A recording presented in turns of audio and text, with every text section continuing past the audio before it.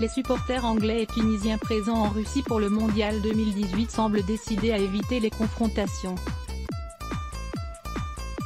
violentes du passé, alors que leurs équipes nationales s'affrontent lundi à Volgograd, au sud-est de Moscou.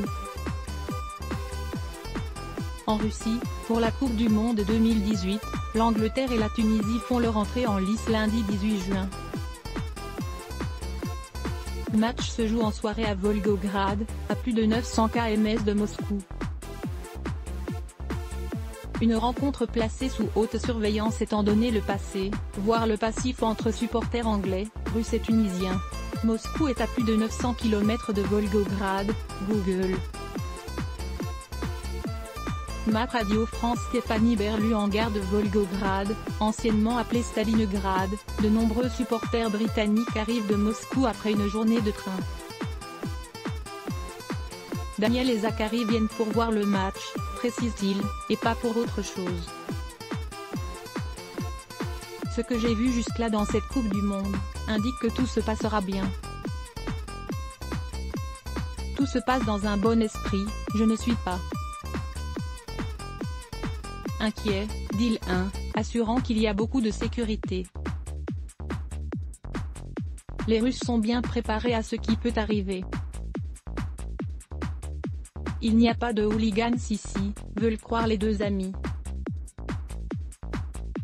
Ce sentiment semble partagé par deux jeunes Tunisiens, Riyad et Youssef. Ils veulent surtout chasser les mauvais souvenirs. On sait ce qui s'est passé.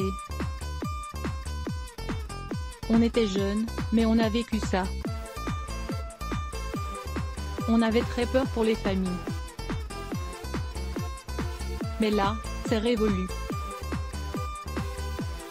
Normalement, il n'y a plus de problème, affirme-t-il, en faisant notamment référence aux violences à Marseille, lors du Mondial 1998, en marge d'une rencontre Angleterre-Tunisie. La sécurité est assurée pour ce match, comme pour toutes les autres rencontres, ni plus, ni moins, assure Alexander Bondarenko, membre de la région administrative de Volgograd. La Russie est un état de droit, lance-t-il, affirmant que les forces de l'ordre seront intraitables avec ceux qui violent les lois et menacent la sécurité des autres.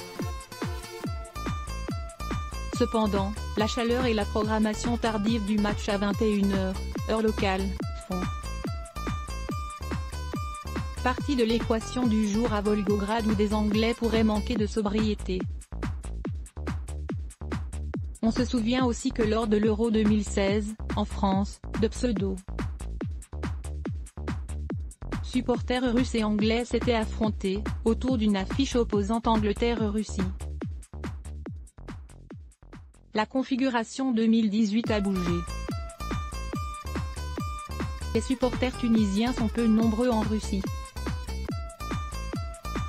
Les fans anglais sont très encadrés, alors que les hooligans russes les plus violents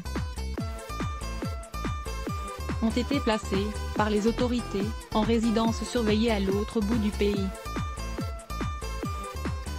À lire aussi sujet associés et violences dans le sport Hooligans Coupe du Monde 2018 Sports Foot à lire sur